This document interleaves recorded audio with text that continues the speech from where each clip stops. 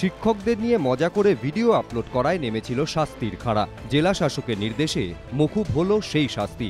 স্বস্তিতে বীরভূম জেলা স্কুলের সাত পড়ুয়া। সোমবার স্কুলের প্রধান শিক্ষক চন্দন সাহাকে সিউড়িতে নিজের প্রশাসনিক দপ্তরে ডেকে পাঠান জেলা শাসক মৌমিতা গোদারা। সূত্রের খবর, প্রধান শিক্ষকের থেকে গোটা ঘটনার রিপোর্ট নেন জেলা শাসক। এরপর অভিযুক্ত সাত ছাত্রের শাস্তি মকুব করে দেওয়ার নির্দেশ দেন। মঙ্গলবার স্কুলের পরিচালন সমিতির বৈঠক ডাকেন প্রধান শিক্ষক। ভুল স্বীকার করে শাস্তি মকুবের আবেদন জানায়। ওই সাত ছাত্রও এরপরই তাদের ওপর থেকে শাস্তি তুলে নেওয়ার কথা জানান প্রধান শিক্ষক। ছাত্রদের আবেদনের ভিত্তিতে তাদের জন্য সিদ্ধান্ত পুনর্বিবেচনা করা হলো। তাদের শাস্তির মেয়াদ কমিয়ে আজকের দিন পর্যন্ত করা হয়েছে। আর তাদেরকে পরামর্শ দেওয়া হচ্ছে যাতে স্কুলের নিয়ম শৃঙ্খলা নীতি, রীতি সমস্ত ভালোভাবে মেনটেন করে চলে।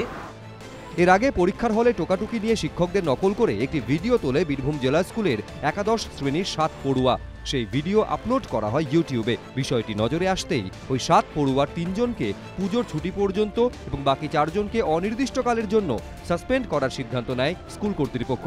এদিন সেই সাসপেনশনই তুলে নেওয়া হলো। শাস্তি মুকুব হওয়ায় খুশি ছাত্ররাও বুধবার থেকে ফের স্কুলে আসবে বলে জানিয়েছে তারা। গোপাল চট্টোপাধ্যায় এবিপি আনন্দ, বীরভূম।